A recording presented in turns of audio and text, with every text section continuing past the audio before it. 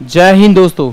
दोस्तों, बात करते हैं इस क्वेश्चन के बारे में वॉकिंग रनिंग मतलब चलना और अगर अपनी स्पीड बढ़ाएँगे तो उसे क्या कहेंगे? रनिंग स्माइल मतलब मुस्कुराना और अगर आप थोड़ा सा उसमें और उसको स्पीड दे देंगे तो वो आज हो जाएगा आपका लाफिंग यानी खुलकर हंसना। बी वॉक का फास्ट रूप ये है स्माइल का फास्ट रूप ये है और ये आर आर बी दो हज़ार तीन में आपका क्वेश्चन आया हुआ है। ये रहा आपका क्वेश्चन ऑफ़ द डे और मिलते हैं इस क्वेश्चन के सॉल्यूशन के साथ। नेक्स्ट वीडियो में बाय बाय